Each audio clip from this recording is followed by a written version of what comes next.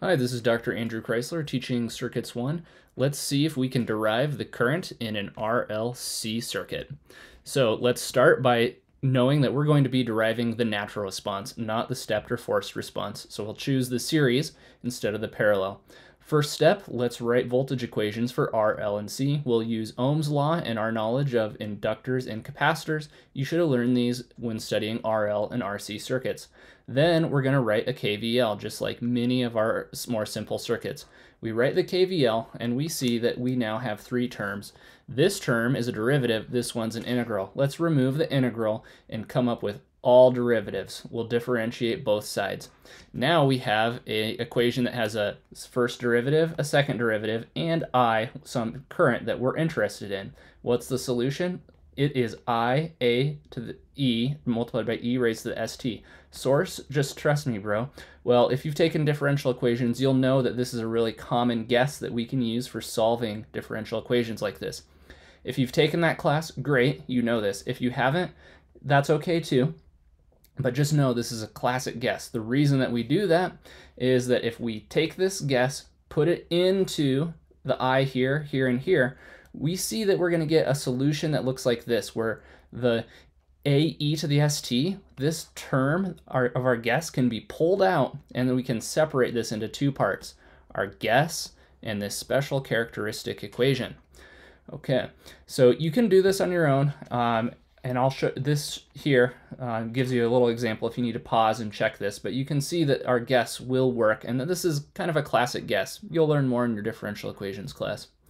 So that solution that we came up with, we can pull out our guess and then we have this other part of the equation that is the characteristic equation. Now this whole thing is equal to zero, right? That came from our KVL. This first part, it can't be zero. If this goes to zero, then this isn't an interesting solution. It just means there's never any energy in the system to begin with. So therefore, this other part, this part should go to zero somehow. Then we're going to have interesting solutions. So we call this the characteristic equation, and we want to know the values of s that came from our guess. We want to know what values of s could force this into zero. So let's use the quadratic formula and find the roots. We'll call those roots S1 and S2. It gives us three cases, right, as you know from your previous courses in math. Two real roots, one real root, or two complex conjugate roots. Those are the three special cases.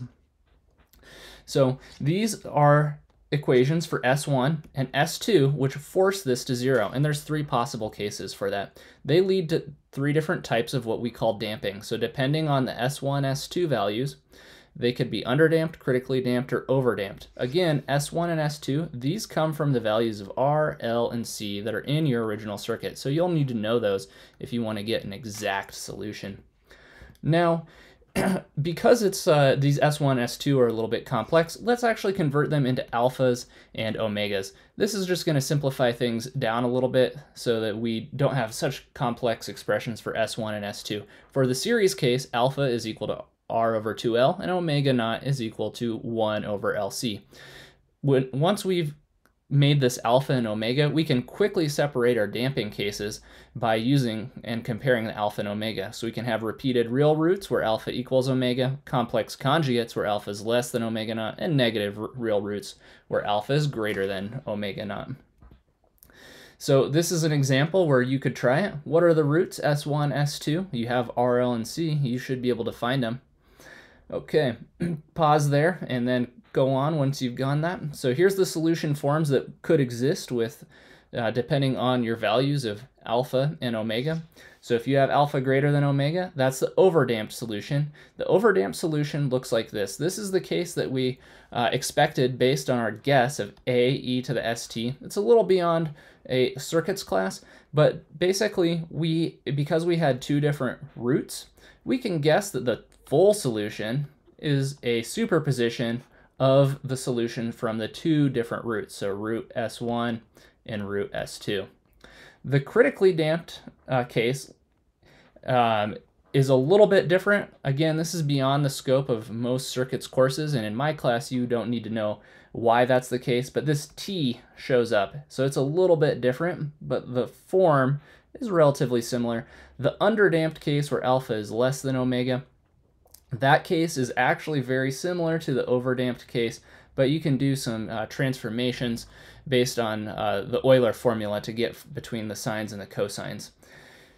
For most classes, you probably don't actually need to know how to derive these and how to do that differential equation because um, that's more of a differential equations problem. And in my class, you don't need to. What's really important is what what is is it being able to determine alpha, omega, S1, and S2. Also notice this uh, omega d is another special term that we'll uh, define later on that comes from your alpha and alpha uh, and your omega naught. So the last things that we need to talk about before the end of this video are how to get A1 and A2 because those appear in each one of these solutions. So A1 and A2, they appear in each case. We have two different ones. We have two unknowns. That means we need two equations to solve for this. Well, where are we going to get those equations? Let's use our initial conditions. So the first initial condition that we have comes from the inductor. And if we know the inductor at 0 minus and 0 plus, we can take that i is 0, so this is 0 plus, and you can get equation 1 that includes a1 and a2 as your unknown. You can do that for each case, overdamped, critical, and underdamped case. Then, what about equation 2? This one's a little bit more complex, but again, we must use our initial conditions. This time we'll use the initial condition of the capacitor. So the voltage, what is the voltage across the inductor at T0 plus? Well, this changed instantaneously, right? The voltage across an inductor can change instantaneously. We don't know for sure what it is, uh, but we can do a rearrangement of this and get this equation. From the initial conditions, we know these. This is what you did in your RL and RC circuits. Now, can we figure out what this VL is that changed instantaneously? Yes, we can using a KVL. So we'll write a KVL around the circuit again. Then we rearrange and solve for VL at 0 naught. We can find this because this initial condition comes down here, and this initial condition comes down here. The current IR is the same as the current IL, right? The current goes through both of these, so we can use that same initial condition. Now we know what that voltage was, despite the fact it changed instantaneously. We were able to use a KVL to figure out what that voltage was. And that means that we know the result of the derivative. And we know what the result of that derivative is at a specific time, 0 plus. Let's go on and use that. So now that we know the derivative of each one of these, we can take, or we can take a derivative of each one of these. I've omitted that for convenience, but you could verify on your own. Once we've taken the derivative of those, let's evaluate the derivative, right? We'll evaluate at t is equal to 0 plus. That's going to remove a whole bunch of terms like in this one, right? It's going to remove all of those terms. It's going to take these terms, e to the whatever, into 1. I've done that here. This is the simplification for each one of those second equations. So this is your second equation, and you can use the first equation and the second equation for each one of these cases to solve for A1 and A2. Your S1 and your S2, those come from that quadratic equation that we solved previously. Uh, same with the alpha and omega, that was a simplification that we used. The only thing that was a little bit different that I promised I would define for you was this omega d. The omega d is defined by omega naught and minus alpha, and it's just in order to uh, create a little bit of a simplification here. That's where it comes from.